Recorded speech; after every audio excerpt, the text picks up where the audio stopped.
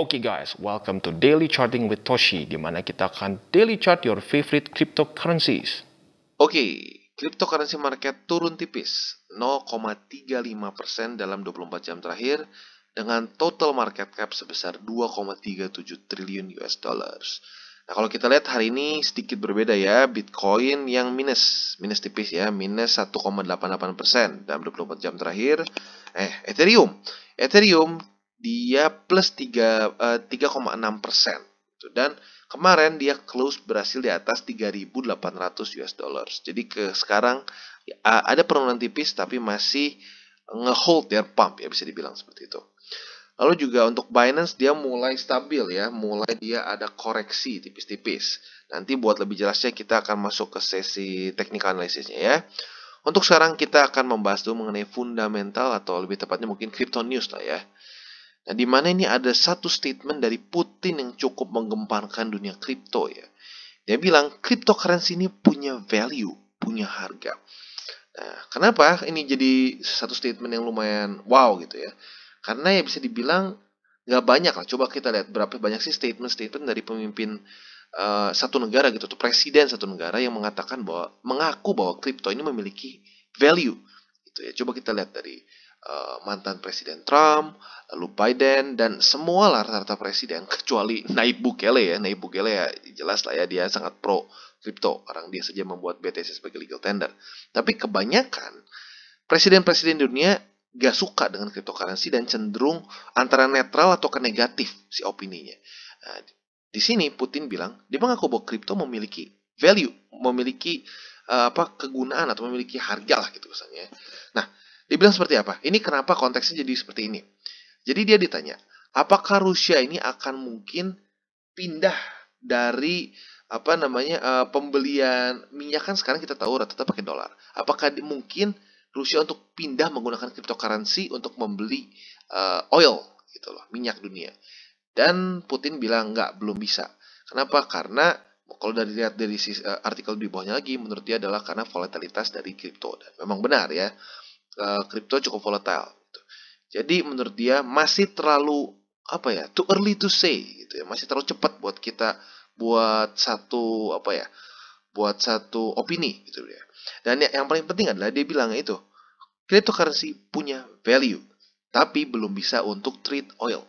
Dan berita selanjutnya dari dunia sepak bola, di mana Lazio telah mengumumkan bahwa mereka memiliki sponsor utama baru untuk jersey mereka setelah menaikkan kontrak berdurasi 3 tahun dengan Binance. Nah mungkin ada beberapa orang berpikir, oke okay, terus kenapa emangnya kalau dia mensponsori Lazio?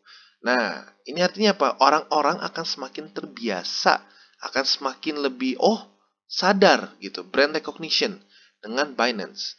Kalau orang sadar dengan Binance, berarti orang makin sadar dengan apa? Cryptocurrency. Sama seperti gini deh dulu uh, gua bisa dibilang ini gua ya bilang fans banget sih enggak lah ya tapi cukup menyukai Manchester United.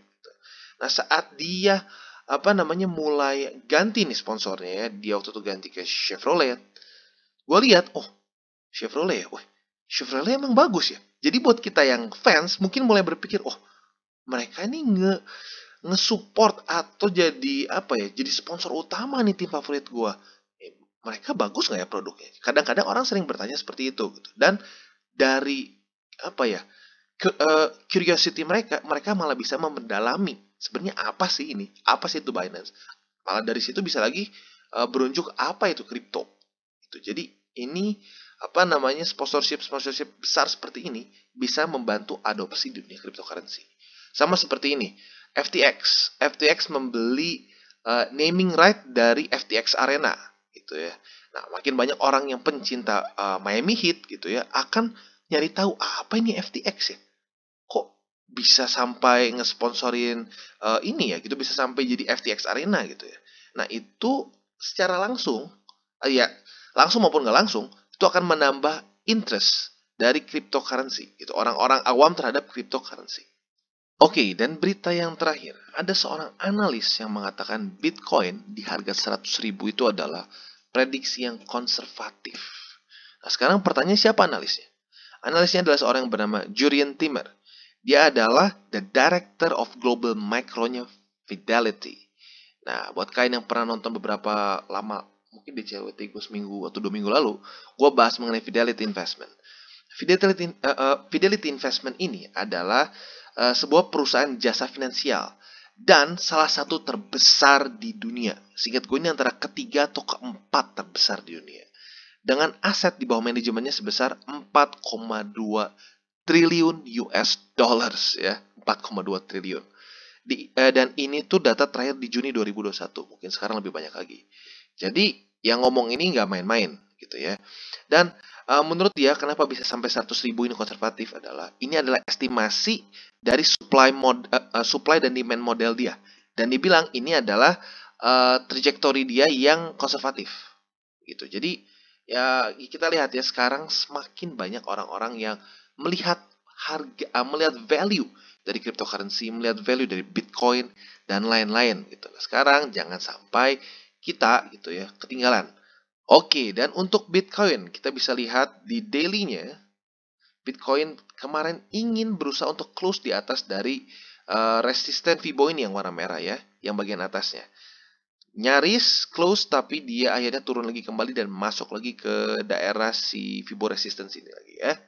Dan kalau kita lihat di 4 hour chart bisa lebih jelas, dia sebenarnya sedang apa ya, sedang berduel nih antara si resisten Fibo ini dengan MA20.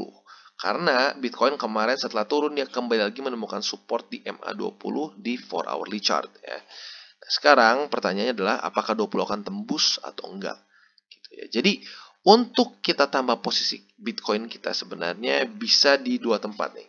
Kalau dia naik ke atas, set, berarti MA20 akan ngejar nih. Dan kita bisa beli di pantulan MA20 saat dia naik ke sini gitu ya. Harga naik nih, set, terus MA20 ikutan naik, kita naik. Nanti harga pasti akan koreksi lagi. Mungkin terpantul di daerah atas, turun lagi. Nah, kita bisa beli di situ. Itu skenario pertama. Skenario keduanya adalah kita bisa saja kita bisa saja beli apabila harga dari Bitcoin ini turun, menembus dan ketemu MA50. Ketemu di 50 mantul, kita beli. Kondisinya mirip seperti di sini nih. Jadi kita beli saat terpantul MA50 yang warna biru. Sekarang MA50 ada di harga 55.783 dolar. MA20 ada 56.000 lebih 808 dolar ya.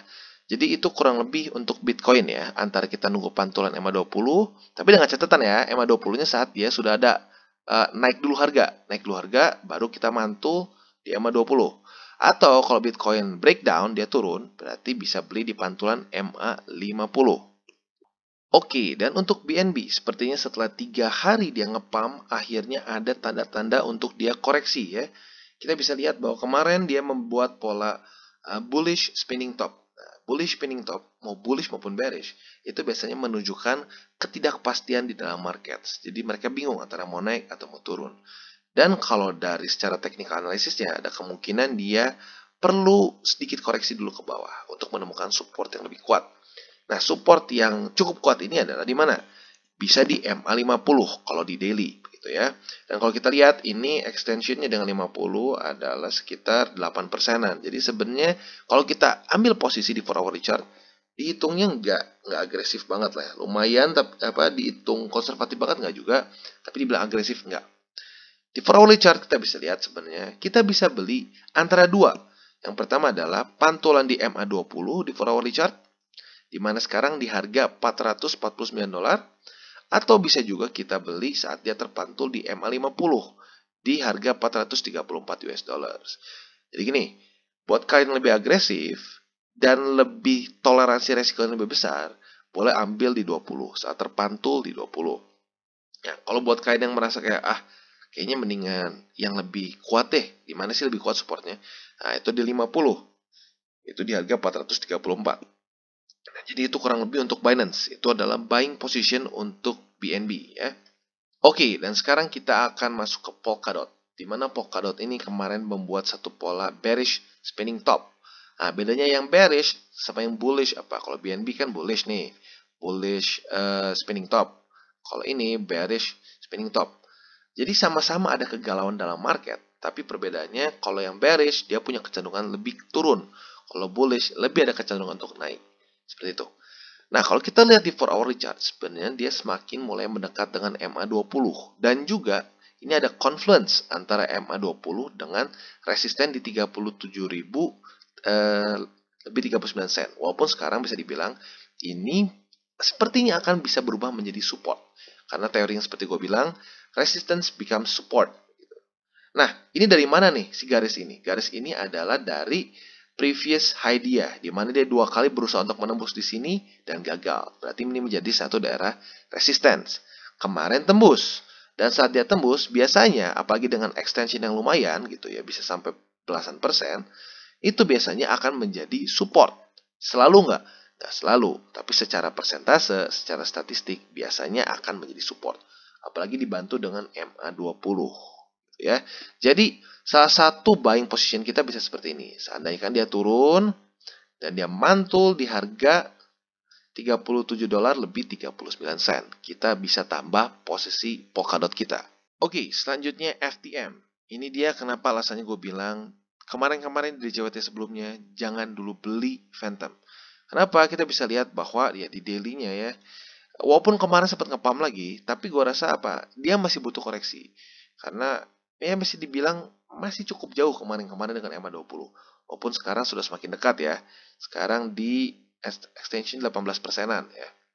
Nah kalau kita lihat di 4 hour chart, sekarang terbentuk mulailah bisa bilang mulai terbentuk pola uh, trendline resistance. Gitu. Nah jadi kalau kalian ingin beli FTM, pastikan bahwa uh, dia ini menembus MA50 dan 20 dan juga menembus dari si trendline resistance ini. Kalau enggak, kejadiannya bisa mirip seperti atom. Di mana atom bisa lihat sangat jelas ya. Ini gue gambar dari sini nih. Gue tarik dari sini. Tapi ternyata sampai sekarang lihat. Masih terus ketahan. Terus ketahan dengan resistance trendline. Jadi uh, Phantom ada kemungkinan bisa seperti itu. Gitu ya. Koreksinya akan ada kemungkinan mirip-mirip seperti atom. Gitu ya. Tuh, kita lihat ya. Koreksinya bisa seperti ini. Terus kepukul lagi, kepukul lagi, kepukul lagi.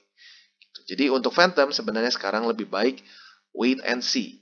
Tunggu sampai dia semakin dekat dengan MA20 mungkin lo bisa beli di pantulan MA20 di daily dalam beberapa hari ke depan. Dan selanjutnya Ethereum. Akhirnya kemarin Ethereum berhasil menembus resisten di 3.621 dolar dan bisa dibilang dia langsung retest atau dia langsung ya bisa dibilang retest ya.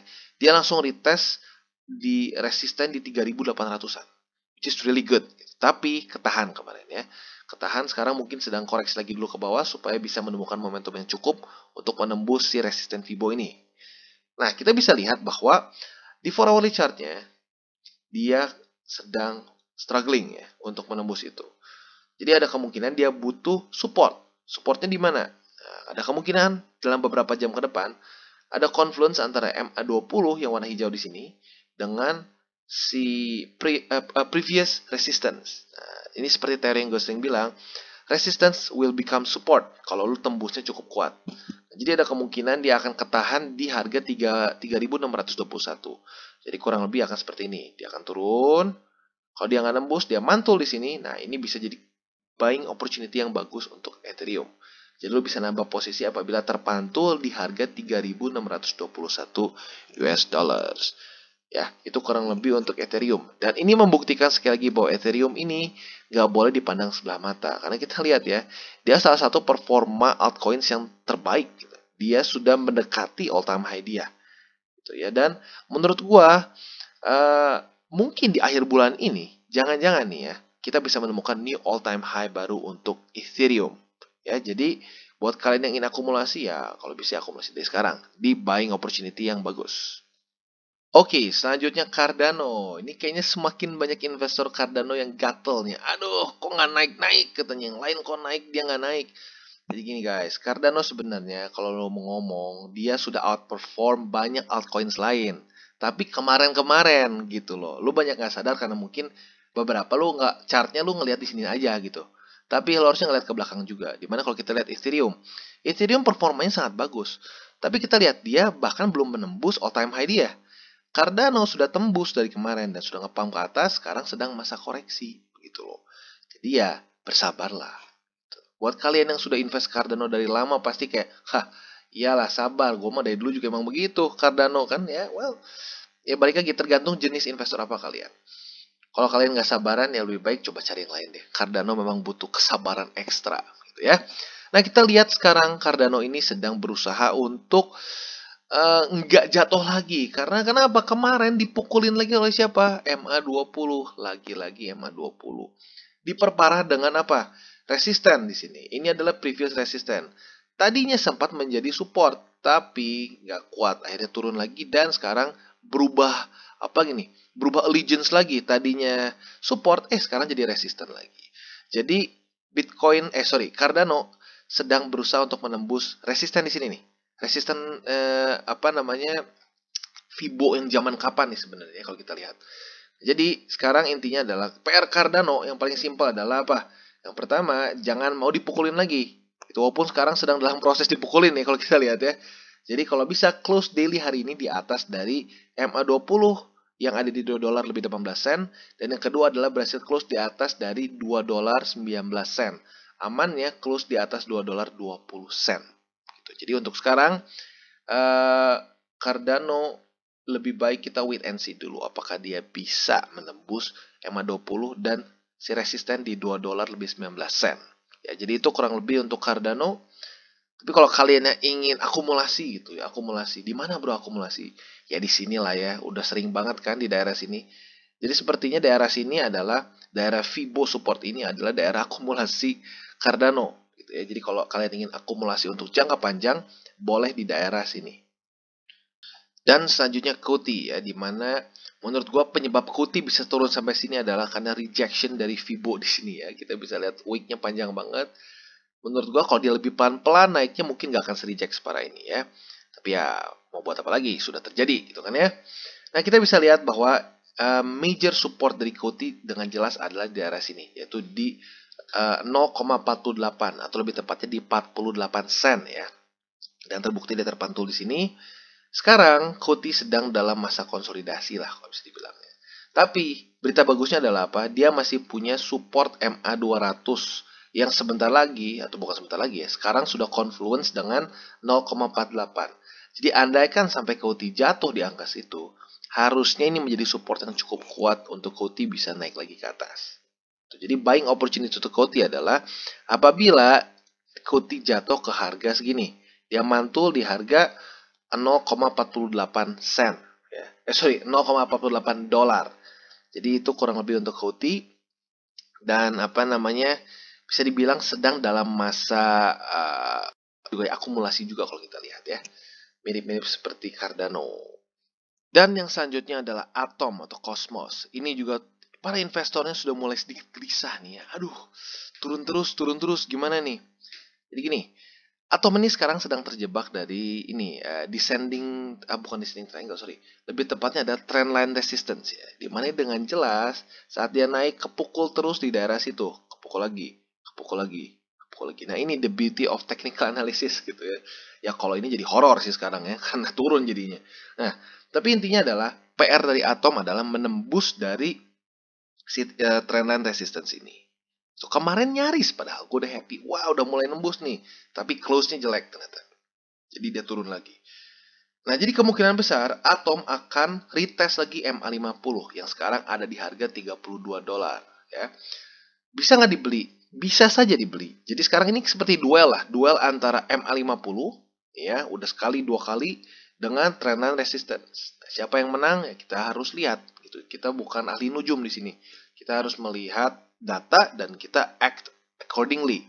Gitu ya. Di 4 hourly chartnya seperti apa? 4 hourly chartnya seperti ini ya. Jadi dia masih ketahan dengan resistance trendline dengan jelas ya di sini.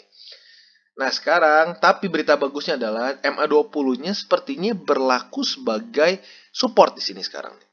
Sekarang pertanyaannya apakah MA20 ini akan menjadi support yang cukup kuat untuk Cosmos bisa nembus kalau dia berhasil nembus resistance trendline di sini, uh, Tom bisa bisa dibilang ada chance untuk bisa nembus atau close daily di atas dari resistance trendline ya. Tapi untuk sekarang kalau nambah posisi lebih amannya apabila dia mendekati ke MA50 gitu. Lu mau kesannya gini, lu pasang limit order deh di 50 di uh, di harga 32 dolar lebih 33 sen. Itu kalau lo ingin tambah posisi, I think that's the safest bet ya untuk Cosmos sekarang. Oke guys, sekian dari segmen Daily Charting with Toshi. Apabila segmen ini bermanfaat, boleh share dengan teman-teman dan jangan lupa untuk like, subscribe, klik the bell icon, dan see you on the next videos.